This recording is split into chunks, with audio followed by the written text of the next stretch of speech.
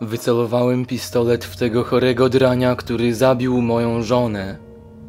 Łkał. Był przerażony tym, co się zaraz stanie. Pociągnąłem za spust. Może gdyby jakoś to wyjaśnił, albo spróbował mnie uspokoić, pozwoliłbym mu żyć.